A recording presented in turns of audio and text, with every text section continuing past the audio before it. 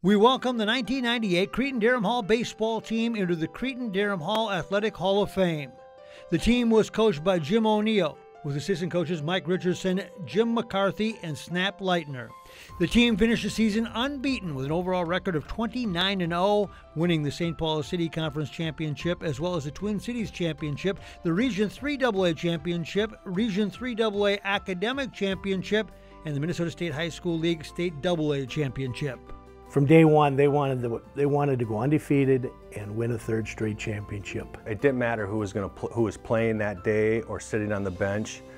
Nobody cared. It was we were going to show up to the yard, and our job is to, if we get an opportunity, to help this team win. You know, you got to give them credit. Uh, they went out, won every single game uh, we played, and some were very difficult games. There was no lack of um, confidence on our '98 team we believed we were good, um, not only as individuals, but as a team.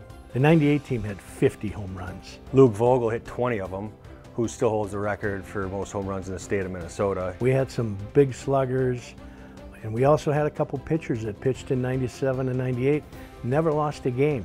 It was really exciting to win that third one in a row. And that kind of brought on the streak. Uh, we had a 66 game winning streak that went into 1999.